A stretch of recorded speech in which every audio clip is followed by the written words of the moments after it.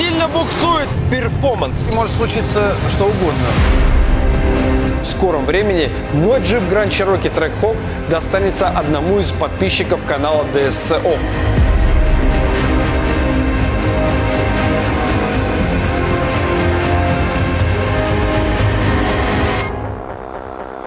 Добро пожаловать в наш мир! Мы хотим показать разницу между Давидом и Голиафом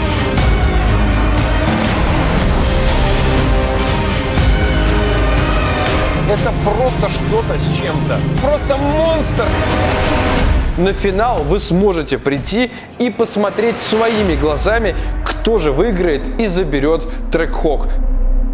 Всем привет! Меня зовут Гурам, а вы смотрите канал DSC Off. До этого самого дня самый мощный и самый, пожалуй, быстрый автомобиль, который я когда-либо пилотировал, это был 1100 сильный Nissan GTR. К сожалению, тогда я еще не снимал тест-драйвы, но тем не менее, поверьте, я был сильно впечатлен. Но кого сегодня вообще можно удивить быстрым Nissan GTR? Совершенно другое дело – быстрый AMG GTR. Зеленый, который сегодня претендует на звание самого быстрого автомобиля, который когда-либо пилотировал Гурам. И давайте разберемся, что же у него под капотом.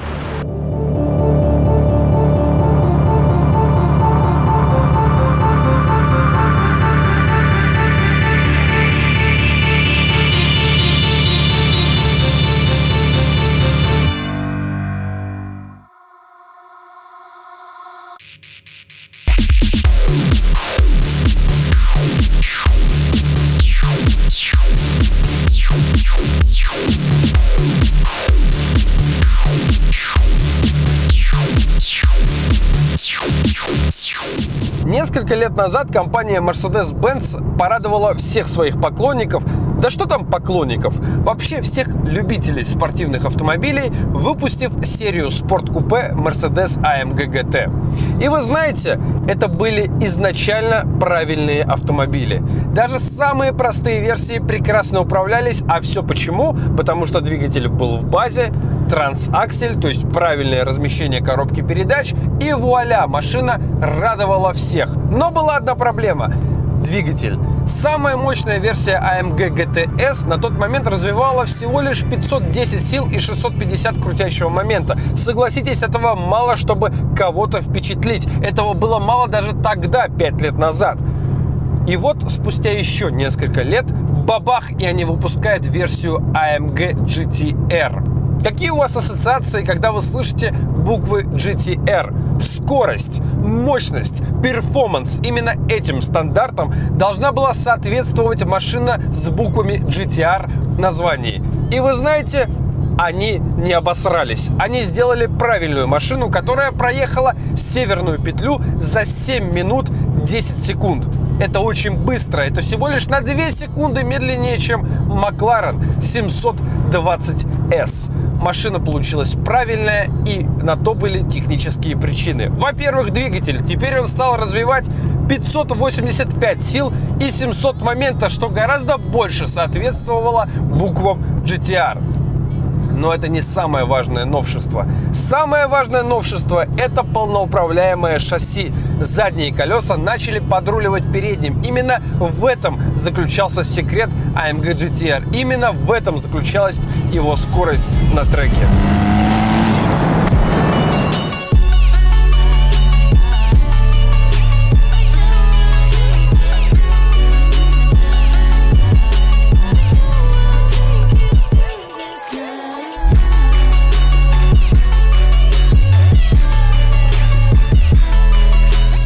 Яркий зеленый окрас это не единственное, что отличает версию AMG GTR от обычных версий AMG GT. Здесь, во-первых, расширенные крылья и спереди, и сзади. Спереди на 4,5 см, сзади на 5,5 см. Машина стала угрожающе широкой. Во-вторых, здесь появился новый передний бампер, гораздо более агрессивный и гораздо более эффективный, что очень важно. Передний бампер прячет в себе еще и активную аэродинамику, которая в том числе помогает создавать разряжение под автомобилем. Это очень важно. Поехали дальше. Появился агрессивный задний спойлер, который несет в себе определенные аэродинамические функции. Он настраивается вручную под тот трек, на котором вы будете наваливать. Именно так он эффективный, не просто эффектный. Ярко выраженная агрессия передней части автомобиля великолепно коррелирует с ее задней частью. Что там есть? Во-первых, любопытнейшая выхлопная система. Там большой центральный патрубок и два маленьких, которые скрыты в крутом, очень красивом и очень эффективном аэродинамическом диффузоре, выполненном из карбона. Как я уже говорил, заднее крыло и надпись GTR с правой стороны крышки багажника.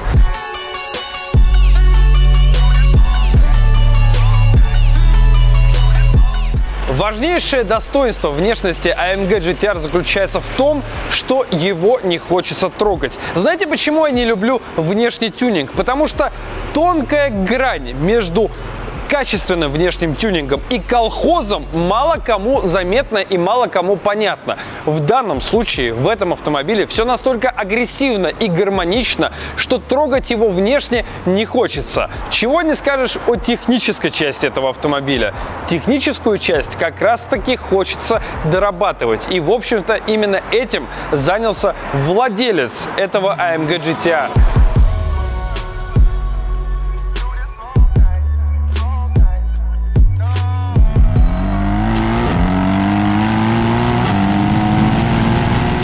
Совершенно точно понять, как эта машина едет, нужно доехать до Дмитровского автополигона. Но сейчас, пока в моем распоряжении платная дорога и возможность, не нарушая, разогнаться до 130 км в час, я этой возможностью непременно еще раз воспользуюсь.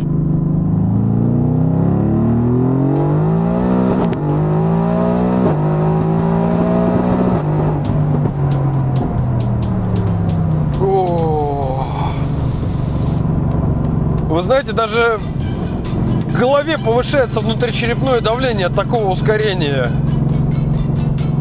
Я думаю, что с таким мотором, с такой мощностью эта машина гипотетически на Нюрбургринге, наверное, разорвала бы вообще всех. Даже SVJ и GT2 RS. Потому что то, чего ей не хватало, чтобы показать рекорд на этом треке, а это именно мощность, здесь теперь появилась в избытке.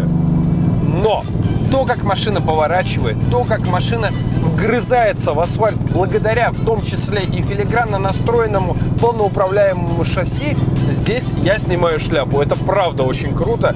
И у BMW нет ни одной машины, которая даже приблизительно так управляется. Я это говорю абсолютно с чистым сердцем. У Audi, кстати, есть R8, а у BMW конкурента, к сожалению, этому автомобилю нет.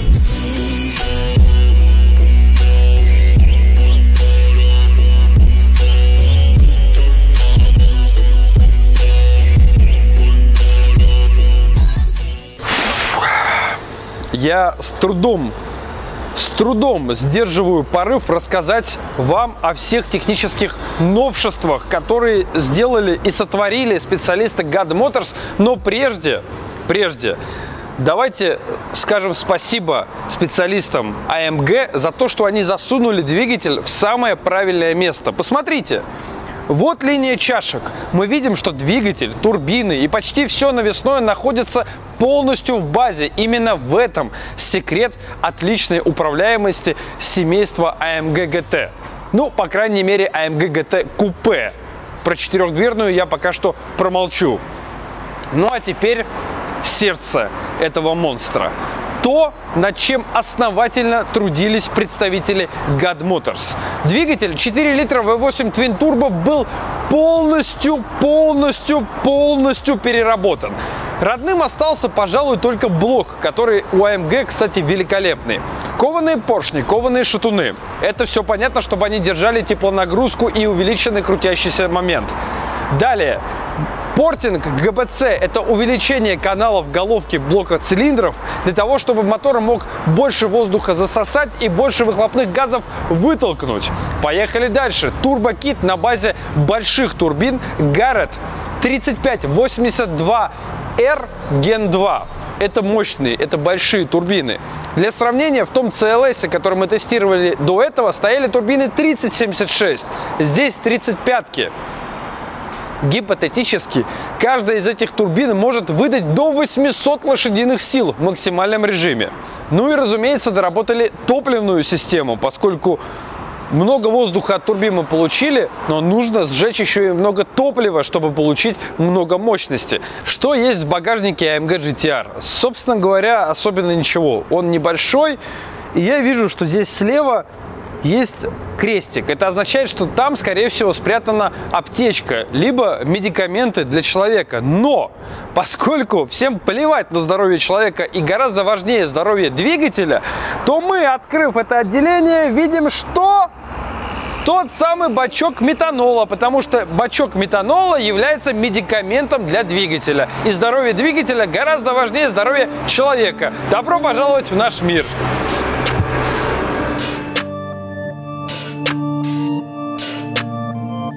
Кроме этого, полная выхлопная система, доработка системы охлаждения, все это позволило увеличить мощность до а вот здесь самое интересное. Никто не знает, ни один человек на планете не знает, до какого количества лошадиных сил.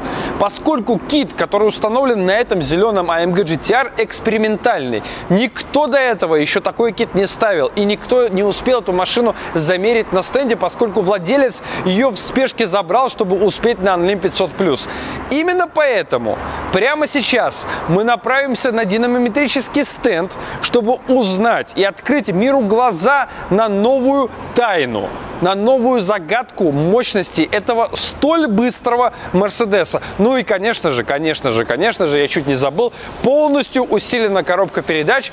Что именно они делают и как это секрет компании God Motors, потому что только они могут усиливать эту коробку передач, которая, кстати, находится над задней осью. Это называется трансаксель.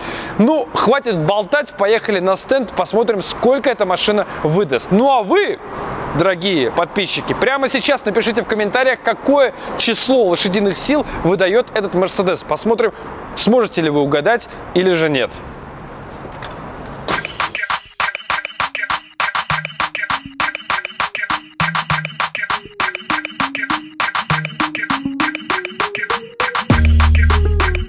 Мы добрались до стенда, SuperFlow стенд, машина уже привязана.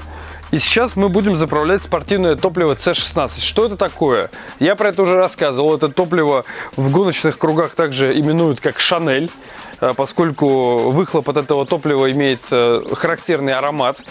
И почему она спортивная? Потому что здесь повышенное октановое число. То есть есть 92 бензин, 95 98 а, есть сотый, который уже на многих э, автозаправках есть в наличии. И это уже не спортивный бензин.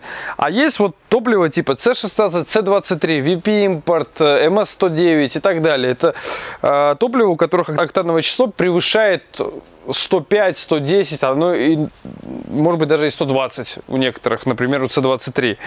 Соответственно, мы сейчас зальем этот бочонок. Это топливо продается далеко не везде. А, конкретно этот бочонок нам достался от Гоши Турботех. Они сейчас привезли огромную партию спортивного топлива различного вида и будут, в общем-то, предоставлять его всем желающим, конечно же, за деньги. Заливаем это топливо, включаем впрыск метанола и пытаемся получить максимальную отдачу от этого мотора, от этой конфигурации, потому что, как я уже говорил, никто вообще не знает, сколько эта машина может показать. И есть, конечно же, вот этот замечательный электронный насос, который все сделает за меня.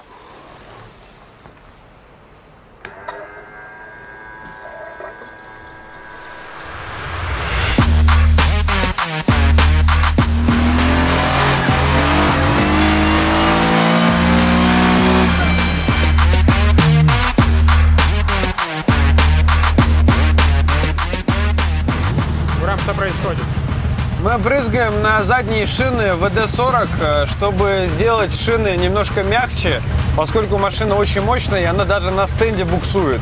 Если это не поможет, затем Демид и Сослан сядут в багажник.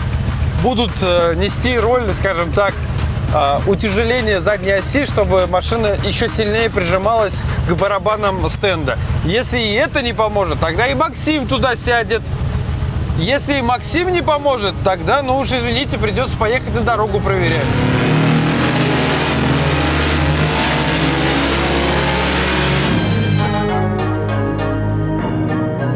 Мы вышли на 987 машина все еще сильно буксует, поэтому мы сейчас сажаем ребят в багажник, чтобы сильнее прижать задние шины к барабанам. Надеюсь, это поможет, и мы покажем тысячу плюс.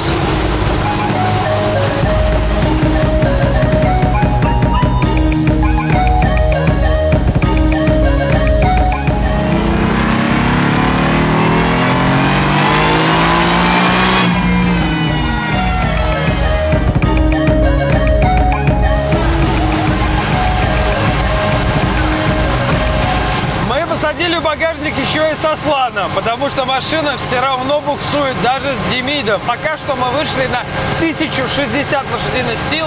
Наша задача показать 1100. Мы будем довольны, потому что температура плюс 30. Покажи, что плюс 30. Что, все нормально? Ну, на такой мощности может случиться что угодно.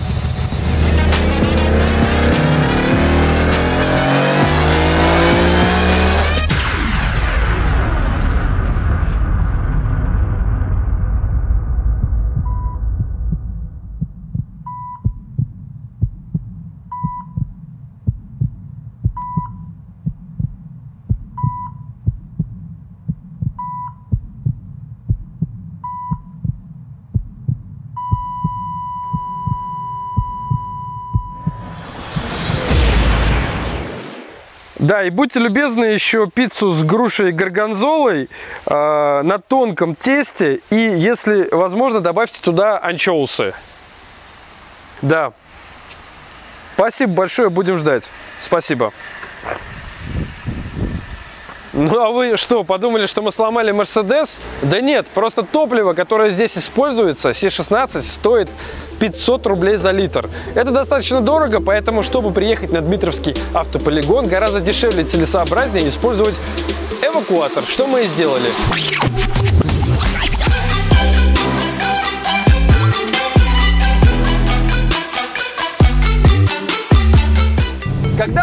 Заехали на стенд, когда на стенде машина в плюс 30 с чем-то показала более 1060 лошадиных сил, а учитывая температуру, то можно смело сказать, что в ней 1100, поскольку плюс 30 на стенде машине очень жарко, я вам могу сказать, что эта машина еще и, наверное, способна удивить искушенного человека, знающего, что такое быстрая машина по прямой. И сейчас я попробую в режиме Sport Plus открыть полный дроссель.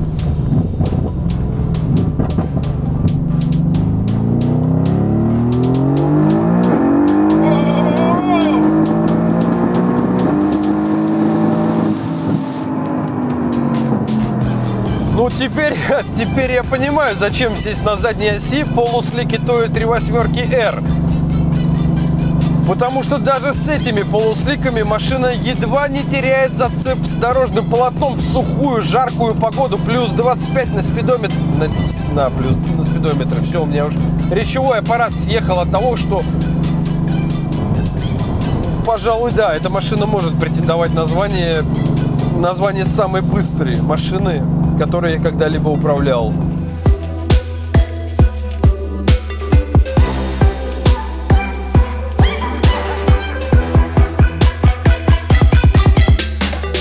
Сейчас, конечно же, я хочу понять, как же едут 1100 лошадиных сил на заднем приводе с места. Вот просто отключу все системы стабилизации, зажму свое нутро, скажем так, и попытаюсь понять, каково же это. Бросает ее, не бросает, нервная она, не нервная. Вот мне интересно это понять. В городе у нас такой возможности не было, благо Дмитровский автополигон. 5 километров идеально прямой ровной дороги эту возможность дарят.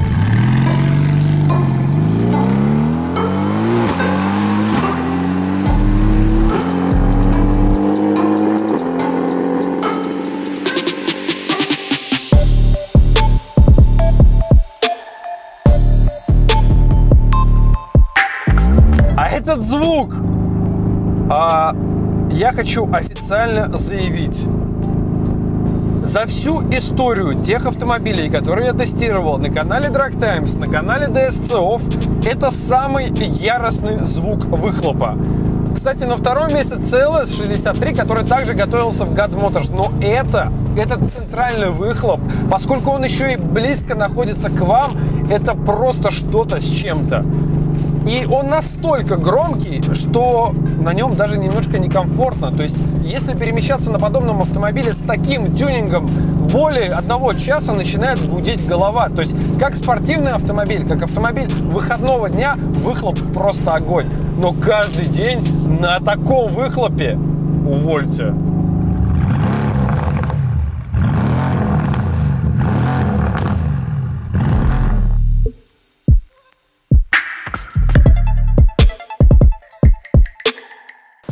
Бортовая наклейка под номером 8 демонстрирует то, что эта машина участвовала на гонках Unlim 500+, на тех же гонках, на которых я выступал на трек-хоке и на M5 F90.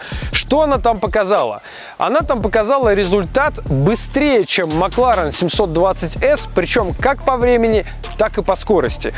Постоянно шла борьба с зацепом. Машина не могла никак зацепиться на новом асфальте Unlim 500+, поэтому я уверен, что эти результаты на московской миле будут улучшены. Вопрос даже не в этом. Вопрос в том, что Макларен который едет на 2 секунды быстрее на Нюрбургринге и медленнее на Анлиме, стоит 30 миллионов рублей. А сколько будет стоить вообще собрать подобный Мерседес? Автору нам говорит, что новый Мерседес AMG GTR начинается от 15 миллионов рублей. Теперь самое интересное. Подобный тюнинг от GAD Motors обойдется вам примерно в 4,5 миллионов рублей. Итого, имея двадцатку на кармане, вы получаете машину, которая, скорее всего, будет быстрее и по треку, и по прямой. Ну, а теперь у тебя, наверное, вопрос. Если мы знаем результаты этой машины на Анлиме, если мы знаем ее замеры, зачем мы вообще приехали на Дмитровский автополигон? Зачем мы проделали столь длинный путь? А я вам отвечу. Мы хотим показать разницу между Давидом и Голиафом, только когда Голиаф по-настоящему Голиаф и монстр. Это вот этот вот быстрейший Mercedes и моя скромная стоковая, но самая быстрая заводская BMW. Прямо сейчас мы встанем на полмили и посмотрим, какая же будет разница.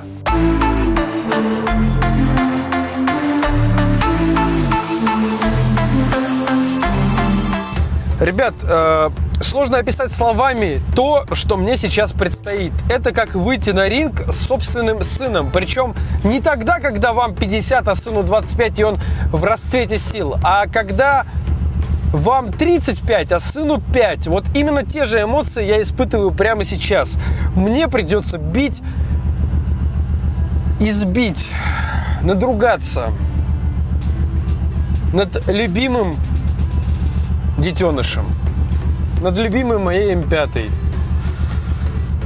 Но что не сделаешь ради того, чтобы объективно показать, как едет стоковая, хоть и очень быстрая машина BMW M5 F90 и как едет этот монстр GAT AMG GTR.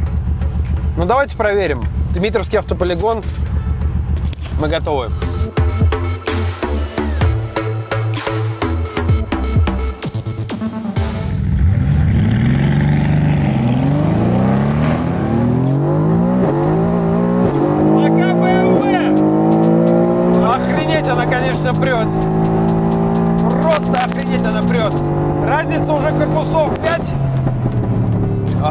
Охренеть, конечно. Я проиграл я проиграл с места, ну, наверное, там где-то корпус. Я чуть-чуть, может быть, раньше стартанул, но при этом, при всем, начиная со 100 км в час, я начинаю уходить просто в космос. Как бы мне не было тяжело это признавать, но этот Мерседес, это даже даже близко не М5 F90. Это просто монстр, а там просто какая-то букашка.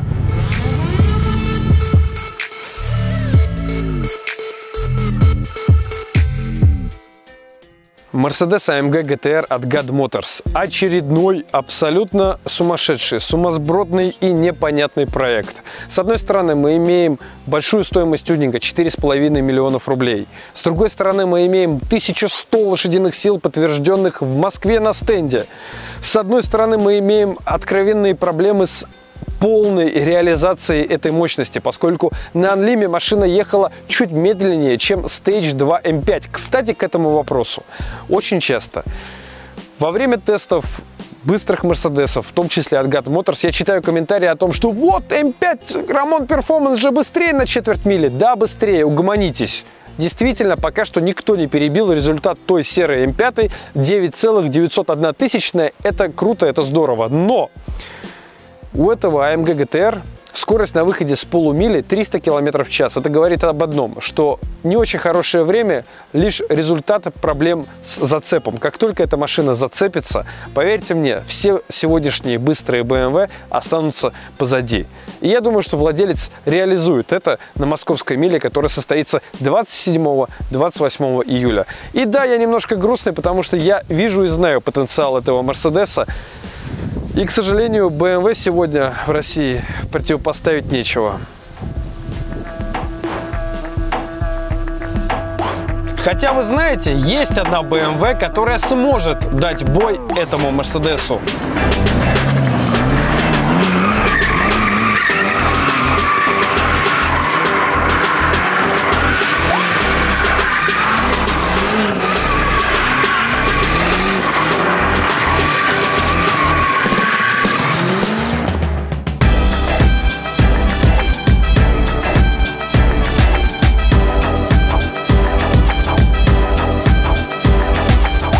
После того, как моя М5 жестко проиграла тюненному AMG GTR, я всерьез задумался. Может быть, стоит взять мою М5 и тоже ее затюнить? Но вы знаете, у этого решения есть несколько недостатков. Во-первых, это тюнинг, а это означает, что в индо положь деньги. Во-вторых, это тюнинг, а это означает, что машина повиснет на подъемнике. Это сроки, это ожидание, мучительное ожидание. Но вы знаете, есть мир, котором вам не нужно платить деньги за тюнинг. Вам не нужно ждать. Это мир игры Crossout. Мир апокалипсиса, где ваша главная задача собрать машину смерти. Накинуть на нее броню, пулеметы, плазмоганы, базуки, да что угодно. Проявите фантазию. Самое главное, чтобы ваша машина могла уничтожать ваших соперников. Вы можете играть в онлайне со своими друзьями или проходить кампанию, где вас ждут очень мощные боссы. Проходите по ссылке в описании и скачивайте бесплатную игру Crossout, которая прекрасно скрасит ваши вечера.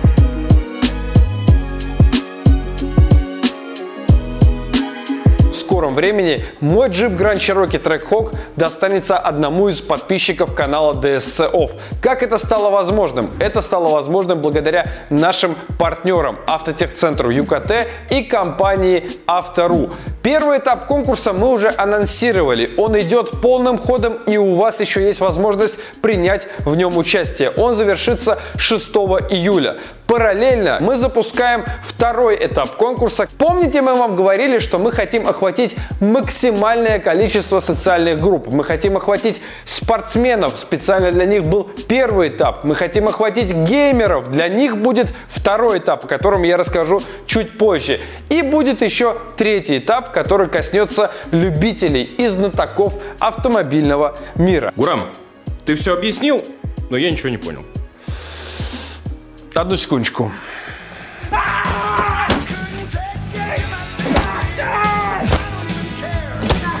Чтобы было понятно, около этой доски нужно все объяснять в халате. Итак, что мы имеем? Мы имеем трек Hawk.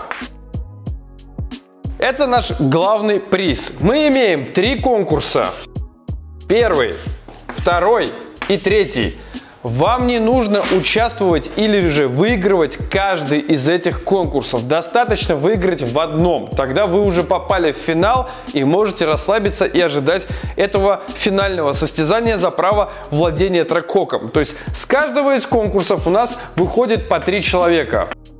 Еще раз, на всякий случай повторюсь, вы можете участвовать в том конкурсе, который нравится вам больше. Не обязательно, не обязательно участвовать во всех трех или выигрывать во всех трех. Достаточно выиграть в любом одном, который вам ближе, который вам проще. И вот эти 9 человек, какое-то инопланетное существо, по-моему, получилось. Вот эти 9 человек, финалисты первого, второго и третьего этапа нашего конкурса «Хочу трек Хок» сразятся уже в финале, и один из них получит ключи от машины. Причем Самое интересное, что он получит ключи не от простого трекхока, а от доработанного. Его доработку совсем скоро мы начнем совместно с автотехцентром ЮКТ. Машина станет чуть быстрее, чуть красивее и ярче. Ну а теперь давайте перейдем к обязательным условиям, которые нужно выполнить, чтобы вообще участвовать в этом конкурсе. Во-первых, вы, конечно же, должны быть подписаны на канал DSCOF, на YouTube канал DSCOF.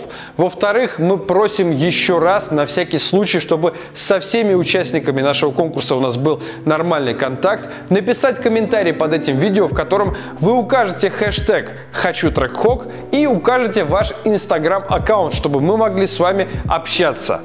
В-третьих, вам нужно подписаться на инстаграм-страничку автотехцентра ЮКТ. Ссылка будет в описании. В-четвертых, вам нужно подписаться на инстаграм-страничку Автору и YouTube канал Автору ТВ. Ссылки также вас будут ждать в описании. Ну а теперь перейдем к самому интересному, к условиям второго этапа конкурса «Хочу трек-хок». Второй этап игровой. Вы помните в детстве, когда мы играли в гоночные симуляторы, мы пытались показать лучший результат, чтобы нам досталась новая, более быстрая тачка. Так вот, ребята, у вас есть возможность сегодня, играя так же, как и в детстве, получить новый автомобиль Trackhawk. Что нужно сделать?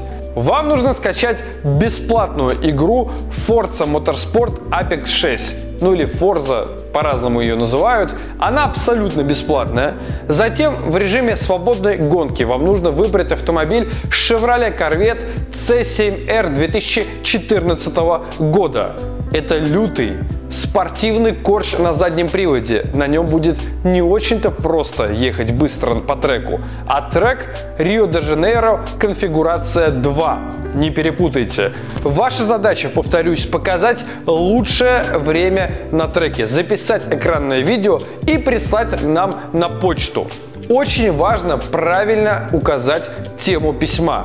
В начале пишется «Хочу трек-хок», затем время прохождения трассы и ваш инстаграм-аккаунт. Зачем инстаграм-аккаунт? Как я уже говорил, чтобы с вами связываться. Если у вас нет инстаграм-аккаунта, просто зарегистрируйте его. Не нужно наполнять его фотографиями, просто зарегистрируйте, это длится 5 минут. Ну и, конечно же, вы, наверное, сейчас запутались. Что нужно сделать? Где взять игру? Как записать экран? Именно для вас наши добрые друзья группа ВКонтакте Forza World приготовила для вас подробнейшую инструкцию, шаг за шагом, как скачать игру, как ее установить, как записать экран и так далее. Все это будет ждать вас по ссылке в описании. Переходите к ним в группу, посмотрите инструкцию и дерзайте. И да, очень важно, некоторые из вас почему-то сомневаются, что розыгрыш, точнее не розыгрыш, а наш конкурс реален. Я хочу вам сказать так, я не могу пока раскрыть вам условия финала нашего конкурса, но могу вам сказать совершенно точно, что вход будет открытый. На финал вы сможете прийти и посмотреть своими глазами, кто же выиграет и заберет трек-хок, чтобы у вас не было никаких сомнений. Ну а с вами была команда DSCOF. Я вновь желаю вам удачи. Давайте покажите крутое время и до новых встреч!